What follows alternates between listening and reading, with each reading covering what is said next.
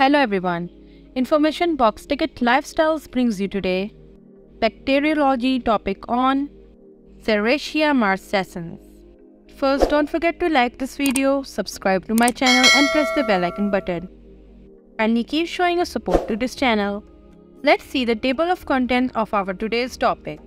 First, we'll go through the introduction, classification, habitat, morphology, cultural characteristics, biochemical characteristics, basic characteristics, viral factors, pathogenesis, clinical manifestation, lab diagnosis, treatment, prevention, and lastly, research on cancer. Let's start with a brief introduction of Serratia marcescens. Hospital-acquired illnesses have been linked to the gram-negative bacillus Serratia marcescens, a member of Enterobacteriaceae family since the 1990s.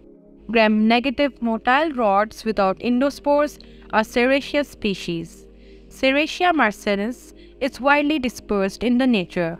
This organism was originally known by the name Serratia marcescens, which Bizio gave it in 1823.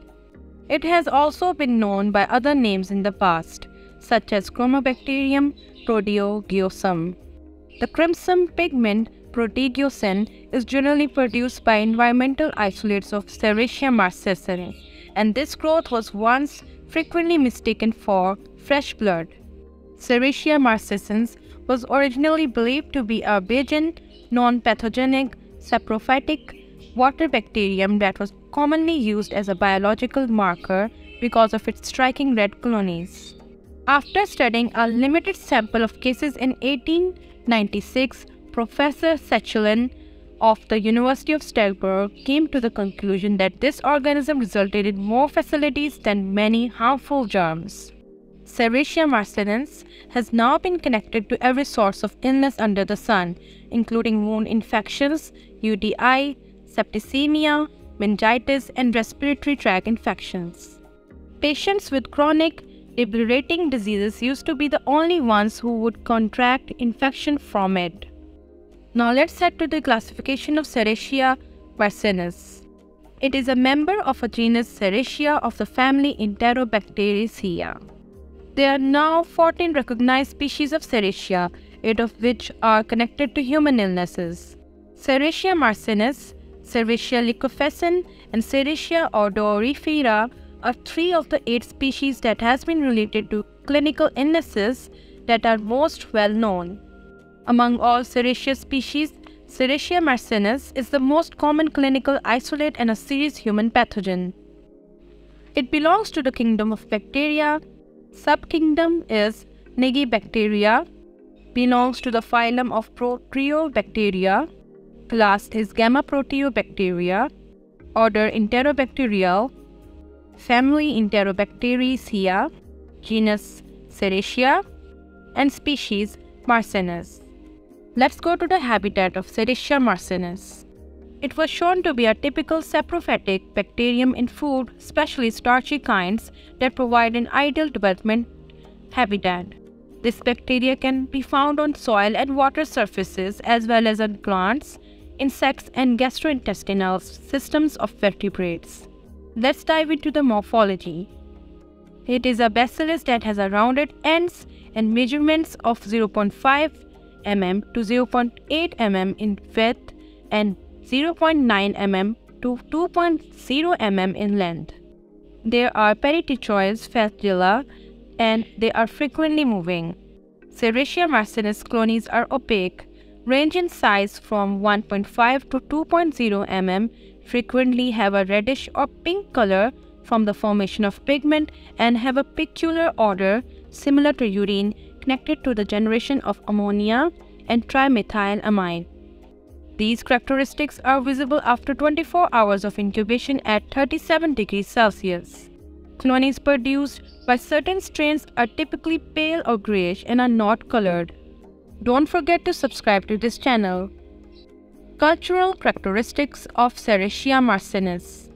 The capacity of Serratia marcescens to grow and strive in unfavorable conditions such as in disinfecting, antiseptics and double distilled water implies supports this claim.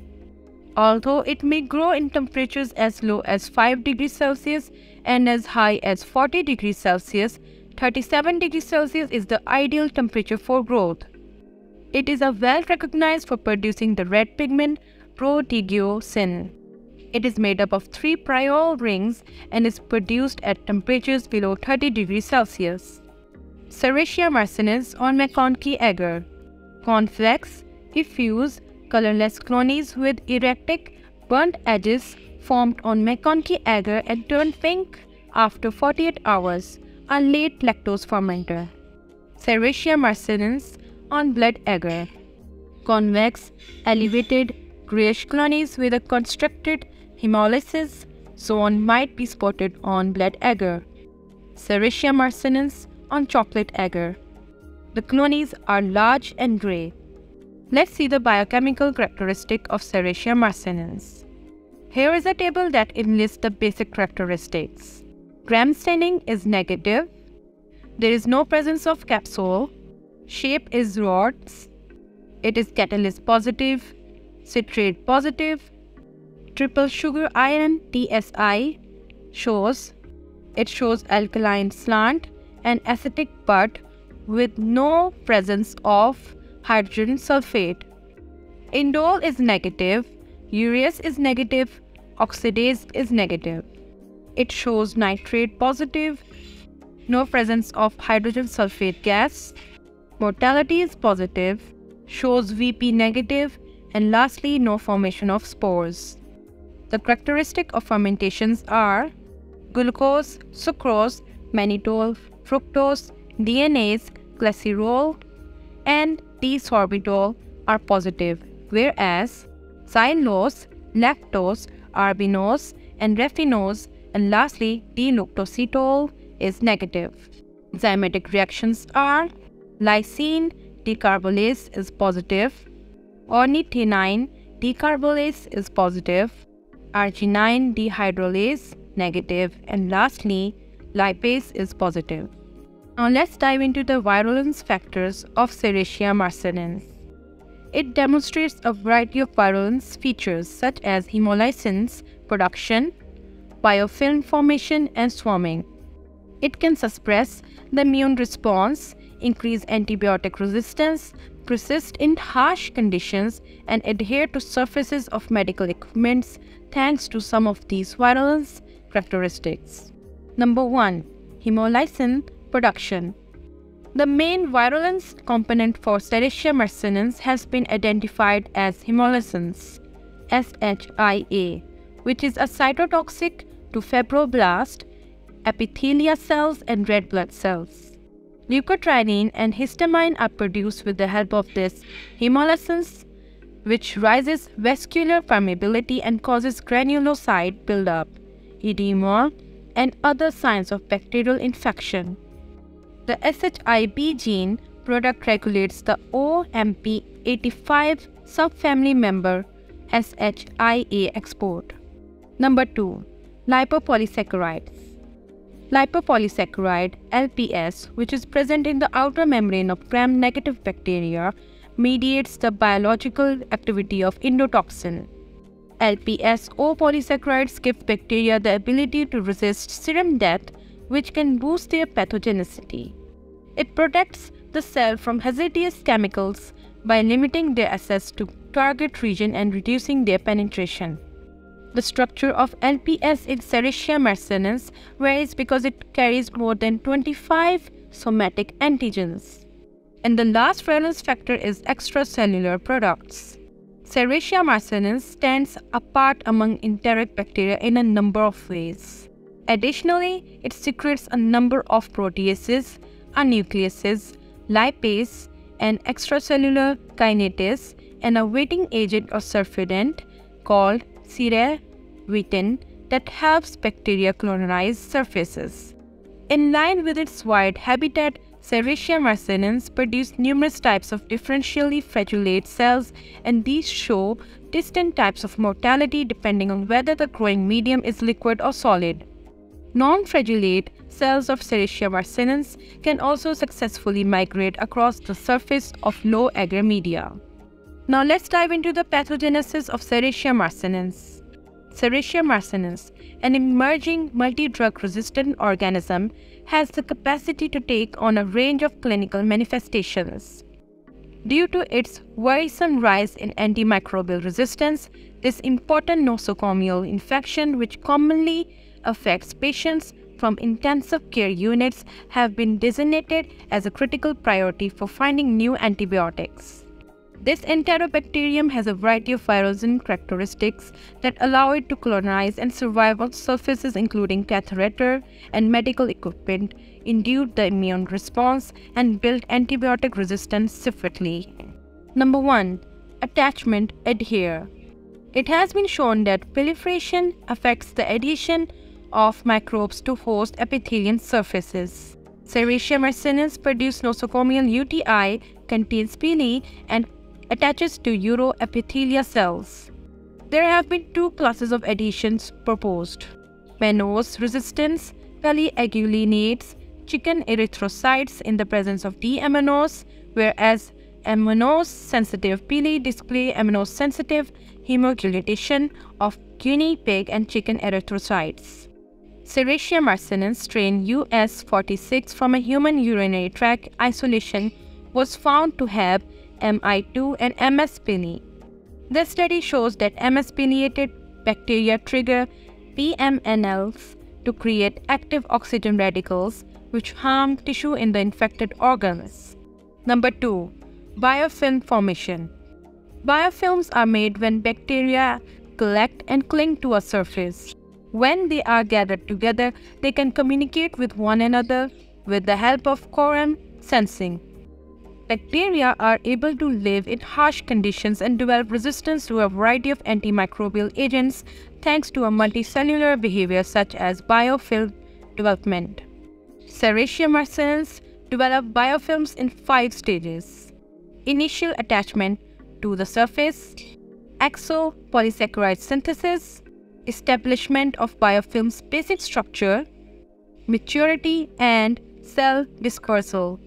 Chronic infections are facilitated by the growth of biofilms. Kindly keep showing support to this channel by subscribing.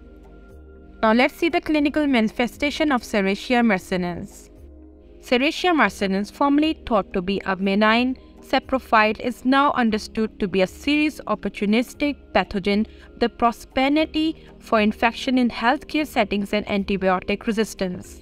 The most vulnerable patients include those with incapacitating conditions, those taking broad spectrum antibiotics, those requiring critical care, and those who use tracheostomy tubes or intervening catheters.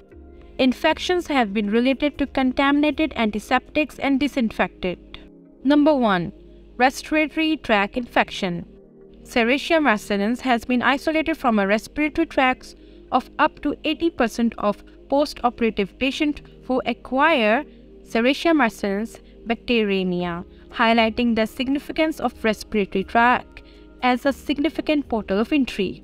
Number 2. UTI UTI are frequently caused by infected catheter. Between 30 to 50% of people with Serratia urinary tract infections experience them asymptomatically. A few of the symptoms include fever, frequent urination, dysuria, pyuria, and pain when peeing. Number 3. Bloodstream infection. Fortunately, Serratia marcinens infection of donor blood or blood components is a rare adverse reaction to blood transfusion, though it has been well reported for decades. Complications related to transfusions typically manifest as septic or endotoxic shock. Bloodstream infection by Serratia bacteria can result in endocarditis, bacteremia, meningitis, osteomyelitis, and arthritis. Number 4. Wound infection. Serratia marcinens has a high degree of mobility, making it simple for it to transfer from the hands of a carrier to an exposed catheter or an open wound. And number 5 endocarditis. Rarely, Serratia marcinens can cause this infection. In 1970s, it was the most frequent reason for gram-negative endocarditis in intravenous drug users. Next is lab diagnosis of Serratia marcescens. Number 1. Morphological and biochemical characteristics. Serratia is frequently isolated in the laboratory from urine and respiratory sites using selective culture methods or from the bloodstream or wound sites using blood agar culture.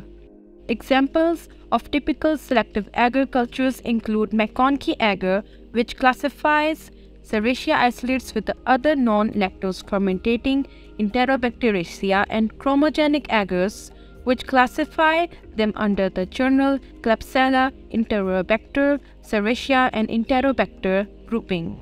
It was cultivated aerobically at 37 degrees Celsius. The inoculum was subcultured on McConkey agar and blood agar and incubated aerobically for 24 hours at 37 degrees Celsius when turbidity first appeared on the fifth day. The colony is then observed Additionally, other biochemical tests are run to differentiate the species. Number 2. Automated System Molecular Diagnosis Several approaches and platforms including automated technologies like WAITIQ and Microscan-1 are frequently available for identifying this bacterium. At the molecular level, 16S ribosomal RNA gene sequencing is used, as well as spectroscopic techniques like Mandelbrot effective distinction between Serratia species is made possible by these two most current techniques. Treatment of Serratia marcescens Serratia marcescens infections may be difficult to treat because of resistance to a variety of medicines including ampicillin and first and second generation cephalosporins. Although Serratia marcescens can be successfully eradicated by aminoglycosides, resistant strains have also recently been found.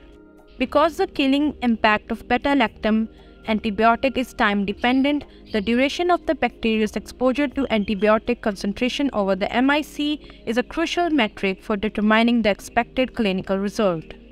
When an aminoglycoside and a beta-lactam antibiotics are coupled, according to research from a rabbit model, the aminoglycoside causes quick death and a decrease in inoculum. In contrast, between doses of the aminoglycoside, the beta-lactam antibiotic prevents regrowth. Prevention of Serratia marcescens Given the continued evidence of Serratia marcescens healthcare-associated infection, opportunities for infection control depend not only the careful use of antibiotics but also on the implementation of effective infection control strategies. If there is a disincredible rise in the frequency of Serratia marcescens infections, the infection control team should become involved to stop the spread inside the hospital, especially when multi-resistant strains are found. Each time Serratia marcescens is discovered, all healthcare professionals should be reminded of the need of hand cleanliness for infection management. In order to reduce staff contact with non-infected patients while taking isolation procedures into concentration, it may also be advisable to isolate patients in certain rooms or units. The best way to avoid contracting Serratia marcescens is to properly and thoroughly wash your hands. And last, Serratia marcescens and research on cancer. Recent studies suggest that Serratia marcescens host three-strain novel proteodioxin MAM PDM may have a major impact on the treatment of cancer. When tested on cancer cell lines, this red pigment showed a selective cytotoxic effect while being less harmful to non-malignant cells. They came to the conclusion that serratia might one day serve as a source for a substance that fights cancer. So that's it for today. Thank you so much for watching till the end. Don't forget to like this video, subscribe to my channel and press the bell icon button so you don't miss any of my videos. Thank you.